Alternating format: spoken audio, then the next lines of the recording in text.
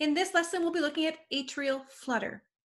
Now, atrial fibrillation was a irregular, chaotic, unorganized contraction of the atrial tissue.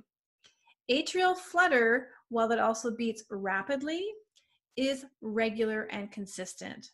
So that's one of the primary differences that we're going to talk about next. Now with atrial flutter, we have another re-entry pattern happening here where there's only one area of irritation, which is very different than atrial fibrillation, where there were multiple areas of irritation.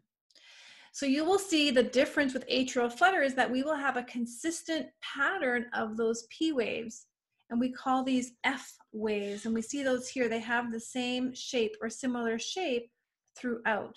So in this case, we will be able to count our atrial rate. In comparing this with normal sinus rhythm, we can see the changes are obvious.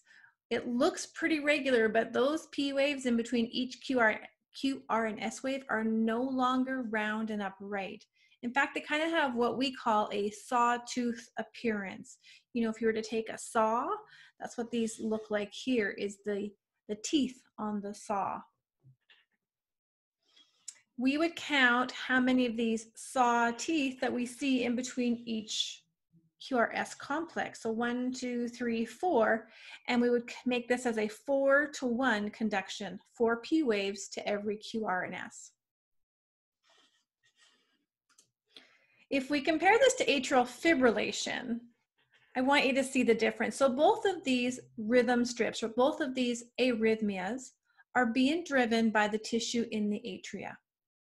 And we can see in the atrial fibrillation, we see that, that fine fibrillatory waves, that chaotic pattern, the irregular QRS contraction. And how that is very different in atrial flutter in that we can see P waves, they just don't look round and upright, which lets me know the SA node is not responsible for those contractions.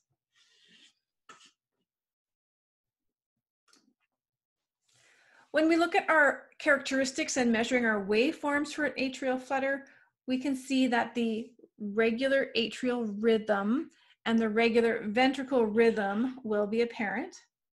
Now, it may also be irregular more often in my experience, I've seen where it's a fairly consistent conduction or a minor difference between a few beats.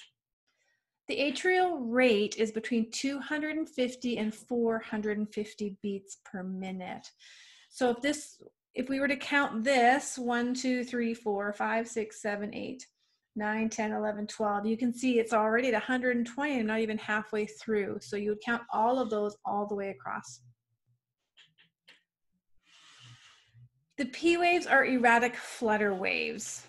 Sawtooth. We're unable to determine a PR interval. We are able to measure our QRS. We cannot do a QT and our ST segment is uh, undistinguishable. So here we have that single area of focus. And I liken this, here's my example for people who are trying to explain this to others. If you've ever been a parent shopping with kids, you've likely come across yourself or witnessed a child in the store going, Mom, Mom, Mom, Mom. And finally the parent going, What? That to me represents the atrial flutter. You've got this child pulling on your coat, Mom, Mom, Mom, Mom. What? QRS contraction. P waves. Mom, Mom, Mom, Mom. What? QRS contraction. So I like to use that as an example to help explain to people just what's happening in the heart. Is the atrial tissue are continually saying, hold on, hold on, hold on, hold on, go. So the rhythm can be regular or irregular. Rate 250 to 450 for the atrial. The ventricle rate should be normal, but it can also be slower or faster depending on the conduction rate, how many atrial flutter waves to QRS waves. Now, the causes of atrial flutter should be no surprise because they're the same causes for atrial fibrillation. We've got hyperthyroidism. That shortened refractory period is really a key feature here.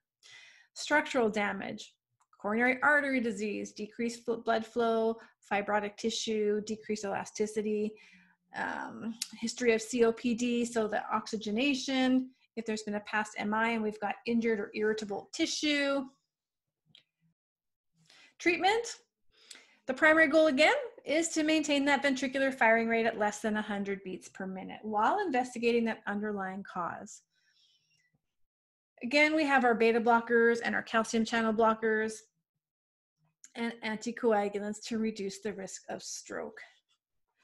Other medications you might see here would be digoxin, diltiazem, verapamil, metoprolol. Now the same thing here for atrial flutter as atrial fibrillation. Synchronized cardioversion is suitable when the onset of atrial flutter is less than 48 hours. You do want to administer an anticoagulant ahead of time. And then of course, we're still searching for that underlying cause so we can treat the cause to hopefully restore our electrical conduction system into a normal sinus rhythm. In our next video, we're gonna be looking at supraventricular tachycardia, and this is our last rhythm for this course.